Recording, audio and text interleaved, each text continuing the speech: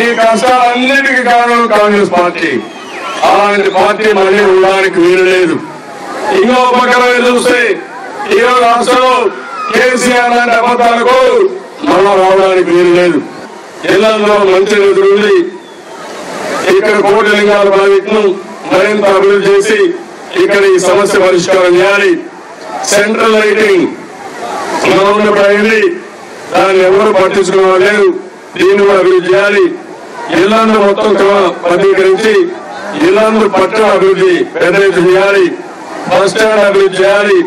Passenger రైలు వల్ల పునరుద్ధరించాలి పెద్ద చెరువు తులారం ప్రాజెక్టు మున్నేరు బేతంపూడి ఇలాంటి ప్రాజెక్టులు చాలా ఉన్నాయి.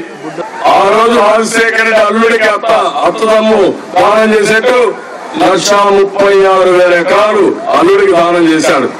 ఈరోజు బయ్యారం క్యాన్సిల్ అయిందంటే తెలుగుదేశం పార్టీ వల్ల అయింది తప్ప ఈ దొంగ కేసీఆర్ వల్ల కాలేదు. ఈరోజు అక్కడ ఒక స్టీల్ ప్లాంట్ వస్తుంది. తెప్పిస్తాం. స్టీల్ ప్లాంట్ పెడతాం. కొన్ని వేల మందికి ఉద్యోగాలు ఇప్పించే బాధ్యత తెలుగుదేశం పార్టీ తీసుకుంటారని యువత కానీ ఇస్తున్నారు. ఇంకొక ఆలోచన లేదు. ఏం చేయాలో తెలియదు. ఇతరులు తిట్టడమే పని తప్ప ఏది చేతగాని వ్యక్తి ఈ కేసీఆర్ అని చెప్పాలని మీకు తెలియజేస్తున్నా. తండ్రి గారు నందమూరి తారక రామారావు గారు రాయలసీమతో తనకున్నటువంటి ప్రత్యేక అనుబంధం వలన వారు రాయలసీమకి తన్ని తాను దత్తపుత్రుడిగా ప్రకటించుకుని